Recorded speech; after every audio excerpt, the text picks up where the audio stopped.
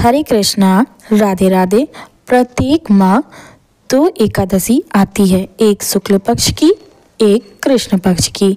तो आइए जानते हैं साल 2024 में सितंबर के महीने में कृष्ण पक्ष की एकादशी और शुक्ल पक्ष की एकादशी कब पड़ रही है?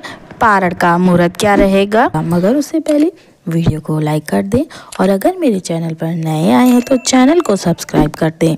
और ऐसी जानकारी प्रत्येक माह बिना रुकावट मिलते रहने के लिए बेल आइकन दबाना ना भूलें।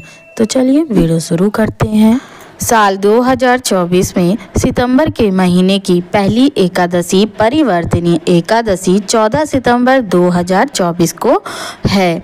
पारण का समय रहेगा 15 सितंबर को सुबह छः बज के छः मिनट से सुबह आठ बज के चौंतीस मिनट तक। पारण तिथि के दिन द्वादशी समाप्त होने का समय शाम को छः बज के बारह मिनट पर। एकादशी तिथि का प्रारंभ 13 सितंबर 2024 को रात्रि दस बज के तीस मिनट पर हो रहा है और एकादशी तिथि की समाप्ति होगी 14 सितंबर 2024 को रात्रि आठ बज के इकतालीस मिनट पर। सितंबर के महीने में दूसरी एकादशी इंदिरा एकादशी यह पड़ेगी। 28 सितंबर 2024 दिन शनिवार को।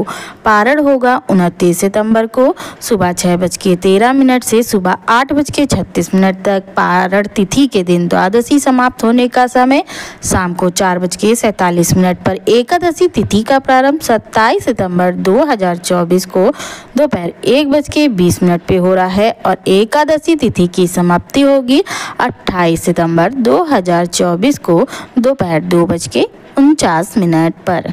जय श्री कृष्ण।